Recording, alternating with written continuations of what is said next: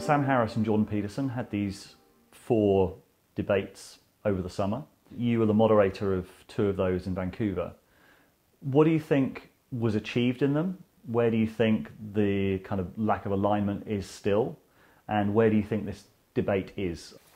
I think a lot was accomplished in Vancouver, and I'm less intimately familiar with what took place in London and Dublin. But in Vancouver, we started out with two people who did not really know how much to trust each other. And although they didn't arrive in the same place, I believe they did uh, come to a mutual respect and even affection for each other that, uh, as far as I know, persists to this day.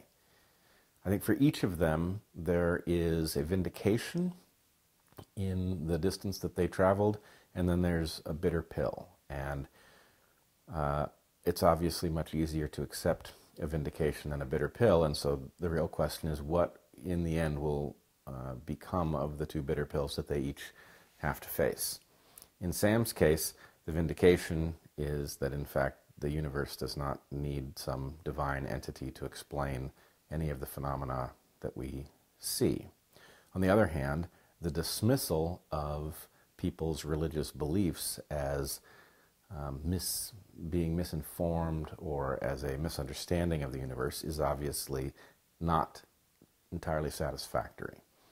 These belief systems do appear to be the product of forces that have shaped them for a purpose, essentially to benefit the people who, to, who hold these beliefs. So Sam is grappling with the implications of that. In effect, it is a challenge to a simple new atheist perspective. Jordan is in the situation of uh, having a vindication of his belief that these myths in which he has uh, argued that there is a great deal of meaning uh, are in fact what he says they are. They are a kind of wisdom and they are profoundly important in human history. For him, the bitter pill is that they are not timeless. There is no magic formula that would imbue them with the ability to tell us what we should do in novel circumstances.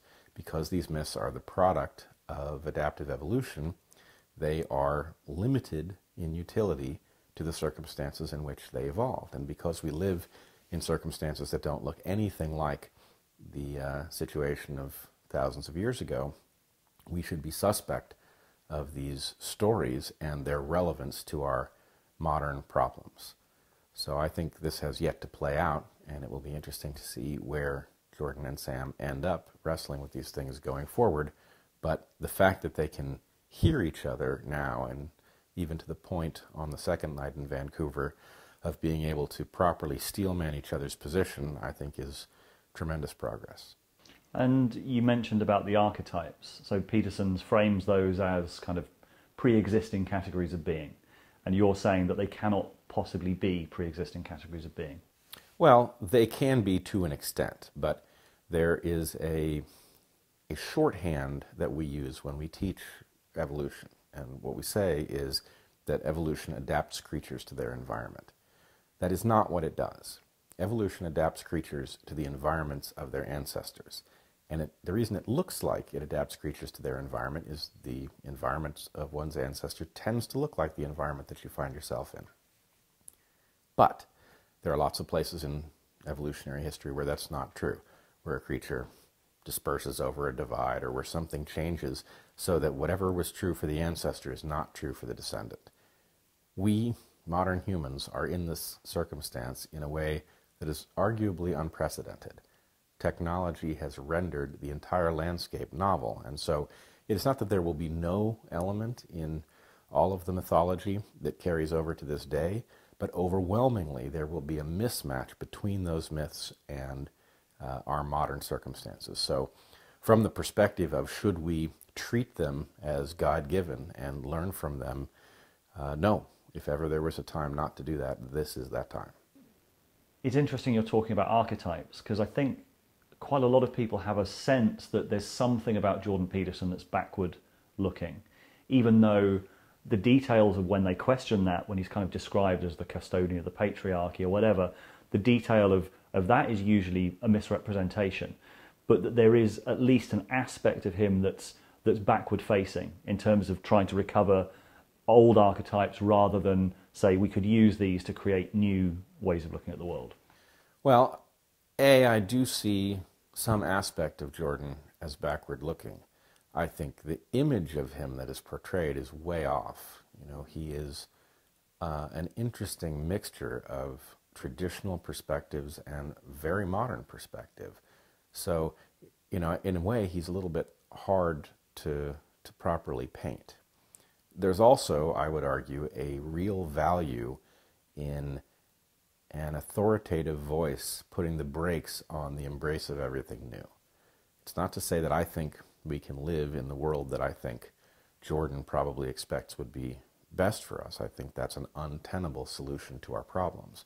However, I also think a headlong rush into everything shiny and new is a mistake. And so, in a way, Jordan has carved out the role of, uh, of orthodoxy. And to the extent that he now comes to a perspective that recognizes the limits of the inherited wisdom and says, well, we need to cautiously look forward and figure out what we're going to do now that we know that our myths are very, very noisy relative to our circumstances. If he does that, people will hear it in a way that they can't hear it from somebody who's so enthusiastic about what's novel that they erode their own credibility.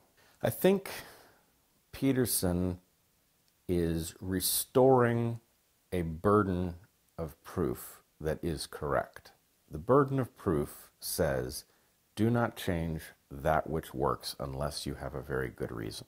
The architecture we've been handed is less and less functional, so there's more and more reason to face the hazard of change because we simply can't stick with what we've got. But it is important to have a force pulling in the direction of not throwing out functional architecture so that when you do throw it out, you know why and you are sober about the costs you're going to pay for starting with a, a blank sheet of paper. And I mean, it's been said before that evolution is essentially conservative, that it conserves, it builds on what's gone before. And Jordan Peterson uses evolution quite a lot in his construction of his arguments. As, a, as an evolutionary biologist, how, what do you make of that? Does he do it well?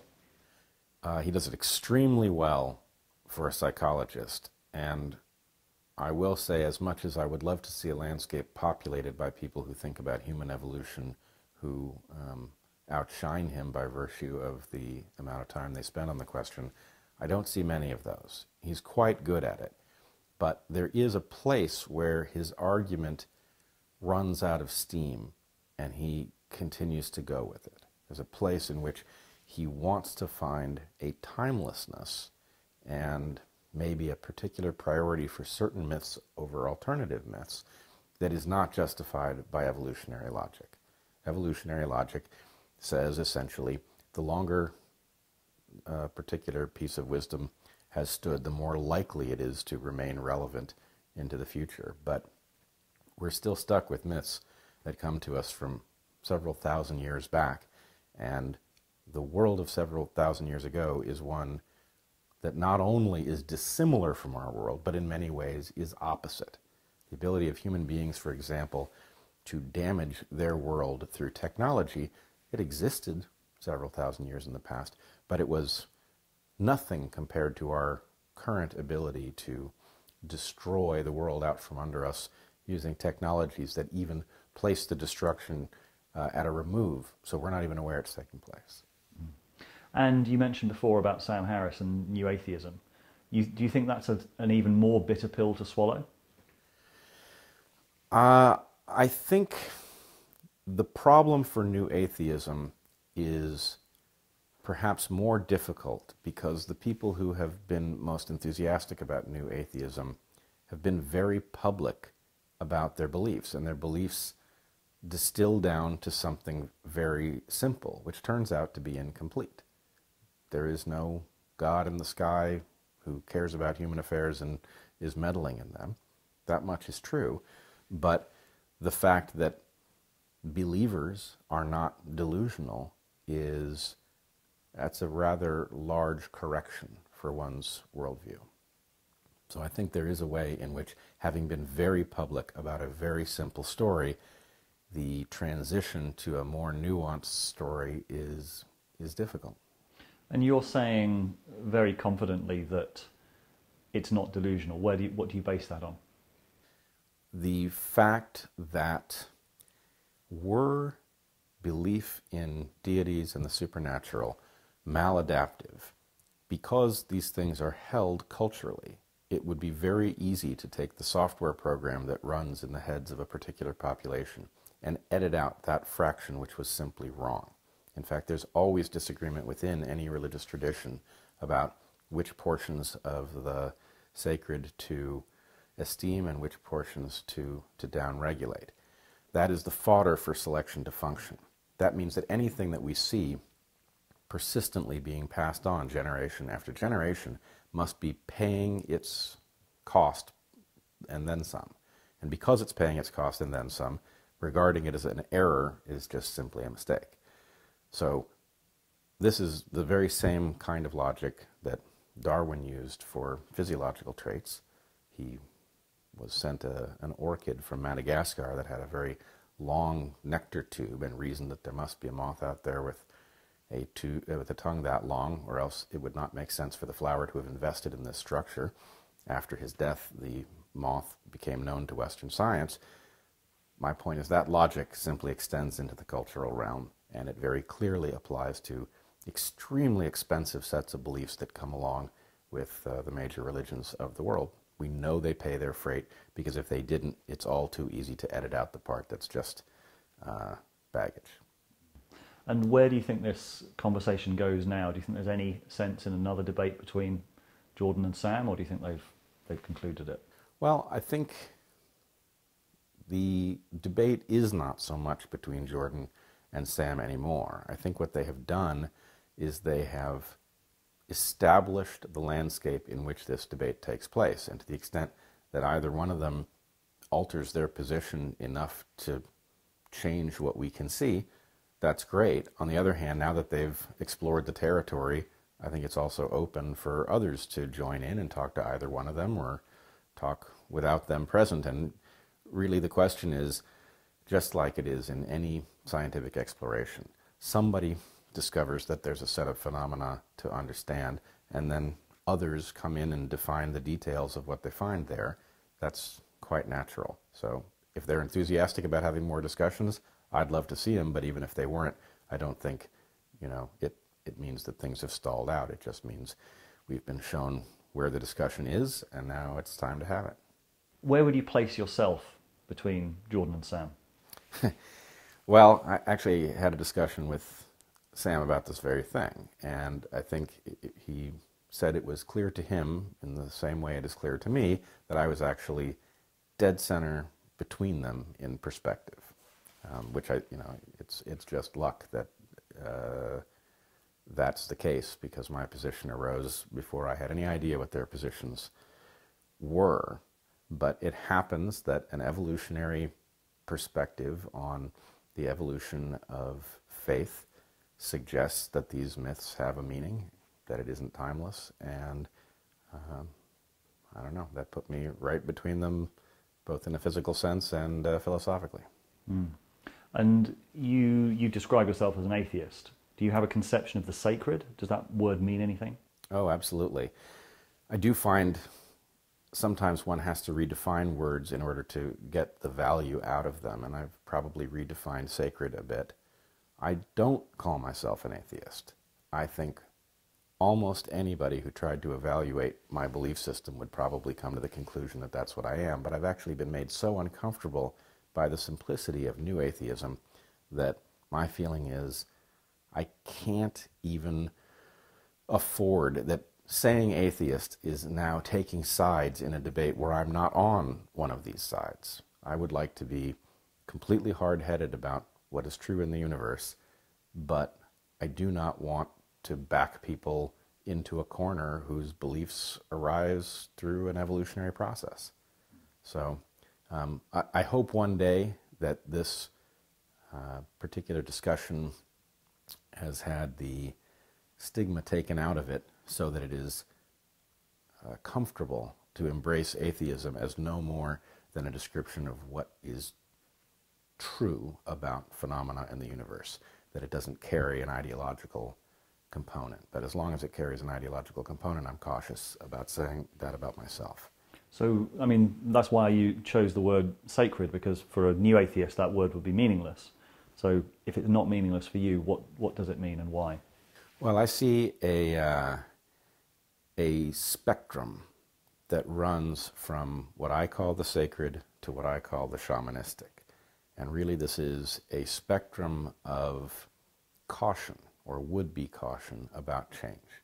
There are some things that are so essential to basic function that you upend them as a last resort.